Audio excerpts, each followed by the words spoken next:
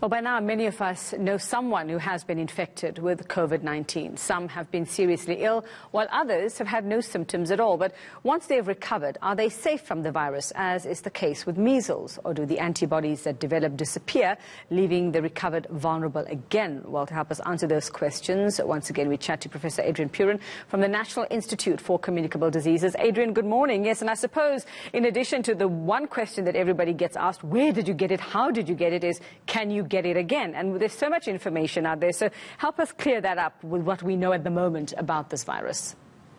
Well, you know, we're six months into this particular virus, and I think we're still trying to learn much about the immunity. Um, we certainly do know some things about um, similar families of viruses that do certainly affect us. Other coronaviruses, for example, there are about seven coronaviruses that infect humans, and four of those are what we call endemic. In other words, those viruses that contribute to having our colds, for example, each particular season.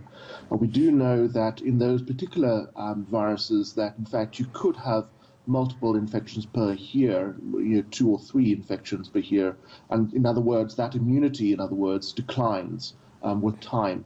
So we think that it's possible that with these, this new SARS-CoV-2, that that is one possibility that in fact we'll have um, seasonal uh, if it becomes an endemic strain that will have a seasonal uh, type pattern in terms of immunity. We know that the other two viruses, the MERS and the SARS-CoV-1, um, have induced immunity, and that immunity lasts for about three years, but in fact actually also um, wanes as well. So the picture is not clear, mm. and that has obviously uh, some implications around whether or not you will be uh, reinfected. So, so what we know about other viruses, while we don't have a particular answer for this question just yet, is will there come a point then where your body will build immunity? Say you get COVID-19 two or three times, and then, then maybe you might be safe. Is that a possibility? Um, it's a possibility, but unlikely if you think if it's going to behave similarly to flu, for example. As you know, each year um, you actually do need to have um, a flu vaccine, and that is because of the uh, drift and because of the, the waning of responses. So you may have some degree of protection, but it may not be full protection. In other words, that you hmm. will then have to receive that, that vaccine again on an annual basis, if not more so, yes. Uh, all right, well, while we're talking about vaccines then, let's talk about T-cell immunity, Adrian, and what that might mean for vaccine design while they're hard at work at this at the moment.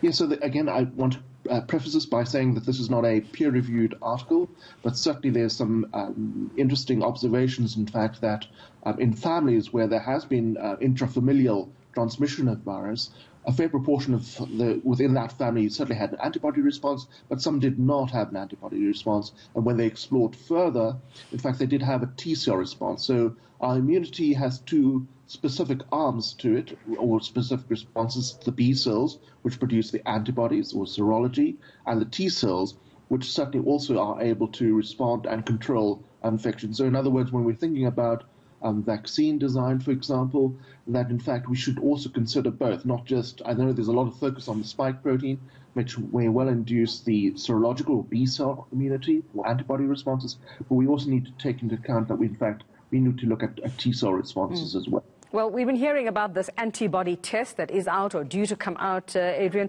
Could that maybe provide some answers to the questions to what we've been asking as to whether you will eventually build, immu build immunity if you get it once, you might not get it again? Um, just how, how would that test work and what could it tell us?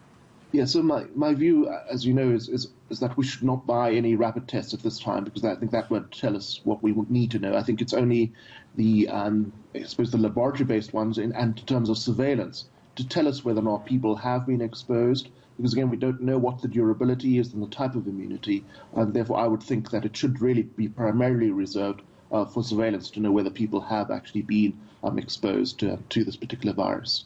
Okay, all right, we'll leave that chat there for now. We just don't know at the moment. It's not clear whether if you've had COVID-19, you'll get it again. Could you get it a couple of times and build immunity? This thing is changing and growing day by day. All right.